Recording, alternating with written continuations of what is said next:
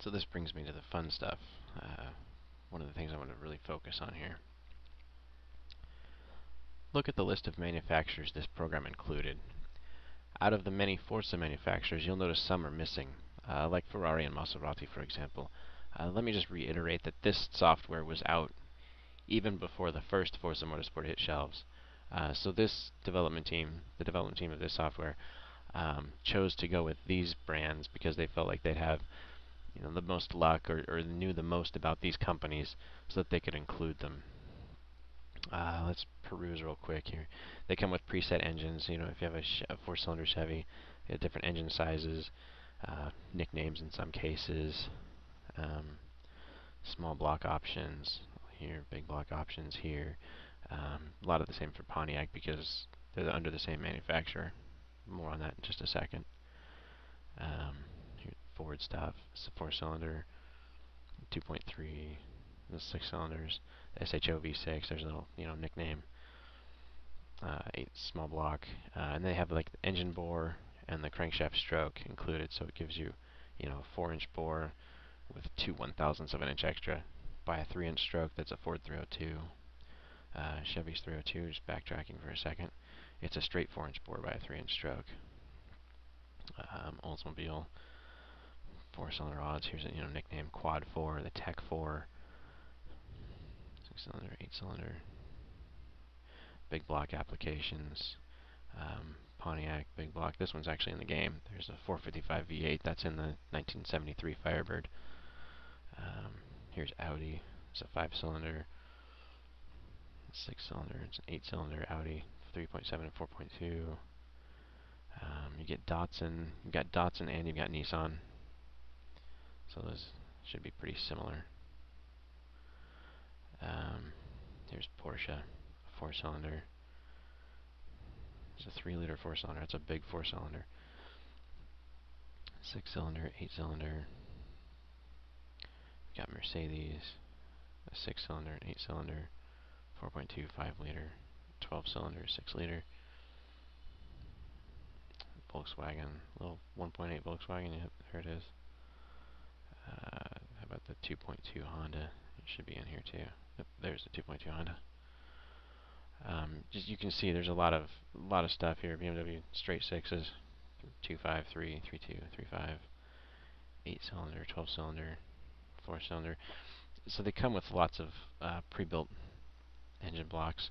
Um, so you'll notice that there are half manufacturers missing uh, in regards to Forza Motorsport. And by half, I mean there's no Acura, but there is Honda. Uh, there's no Lexus or Scion here, but there is Toyota. Um, and that's how they get, you know, their engines. Um, you'll see Lexus and Scion are pretty much American domestic uh, Toyota manufacturers. So most major manufacturers are represented, but none of the minor manufacturers are. Or are they? Uh, De Tomaso isn't represented here, but uh, the Pantera used a Ford 351 Cleveland, so there's that. Mosler sources their motor from the Corvette, so just build a 350 from Mosler. Wiesmann and Mini use BMW engines. Here's BMW, 8-cylinder, 6-cylinder, 4-cylinder. Saleen uses Ford engines. Um, 351, uh, a while back, 281. They're both there. Uh, you can build a 302 if you want for it. Uh, you don't see Holden or Vauxhall listed, though they fall under General Motors. So you could actually build a Buick, Chevy, GMC, Olds, or Pontiac, um, and stick it in one of those, um, stick it in a Holden or Vauxhall. If Turn 10 were to include the Ariel Atom, uh, its engine is a supercharged version out of the Civic Type R. So you could build a Honda engine for that. Uh, Jay Leno suggested and ultimately persuaded Ariel to use the engine from a Chevrolet Cobalt SS for the American market. Uh, and he did that because the, you know the United States doesn't get the Honda Civic Type R, um, at least not the you know Japanese and European spec um, block. So he just did that. he did that to make it easier for you know Americans who buy the car like him, um, easier to get the car worked on. So using this method of sharing manufacturer engine blocks, a large percentage of the current manufacturers within Forza are covered. So that pretty much concludes uh, the uh, preset engine builds. Uh, I didn't get to all of them, uh, but I did go through most of them, and there's you know there's some engines here I can show. Um, which brings me to my next topic is displacement math. Uh, it's more math. It's less complex than this camshaft math or the cylinder cylinder head airflow math. Um, it's pretty easy, and it's actually how you determine the displacement of an engine um, and how many cubic inches or cubic centimeters it might have uh, which directly relates to its liters. Uh, finding displacement is a multiplication of four numbers, um, or five. Uh, one of the numbers is squared. Um, and then one of the other numbers is a division of pi over 4. And the quotient of that, uh, it's about 0.7854, uh, is multiplied by the other factors here. So I'm just going to show you something that's familiar to myself. It's a Chevrolet small block. We'll go to 350. So the 350 is a 4-inch bore by a 3.48 inch stroke uh, with 8 pistons, uh, 8 cylinders, and then uh, that 0.7854 pi over 4 factor. Um, and I'll bring up a calculator and I'll show real quickly. Uh, 4 inch bore, 3.4 inch stroke, 4 inch bore, so bore times bore, or bore squared, times that 3.48 inch stroke, times the number of cylinders or pistons, and then all that multiplied by the quantity of pi over 4. 0.785, roughly 0.784 equals 349.8. That's the same 349.8 you get there. So make that go away. Uh, so you can increase or decrease your displacement. and if you remember my, my uh, comment earlier about wanting to buy bare engine blocks uh, and crankshafts from the in-game manufacturers, this is why.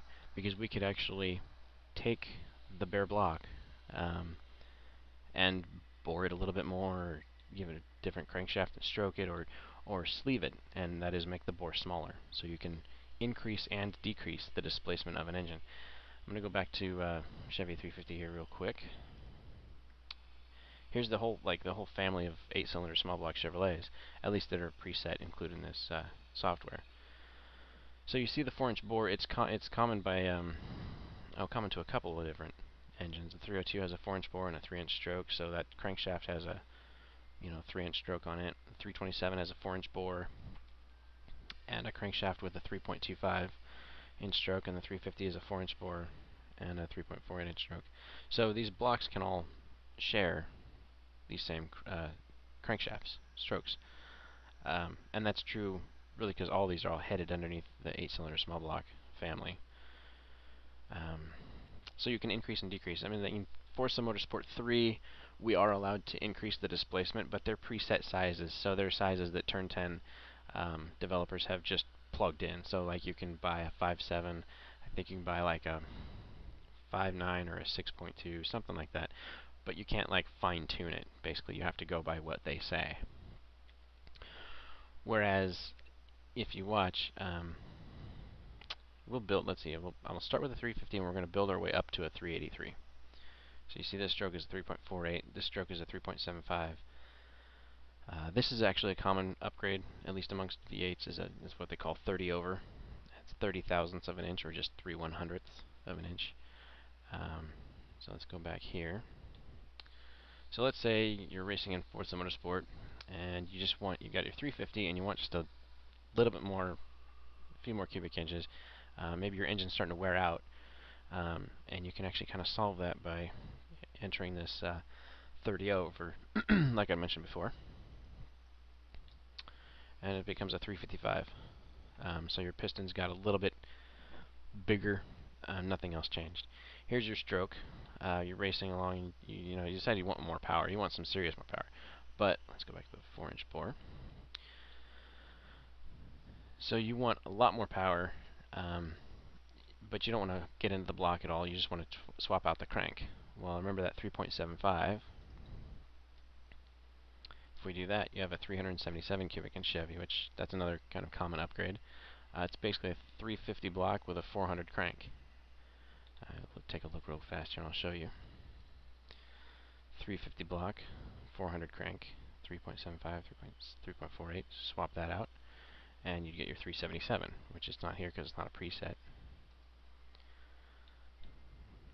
So now, you, you say you built your 377, and you want to make it a true 383. Well, that would be this with a 30 over. Here's your 383. It's 382 point something, but we call it a 383.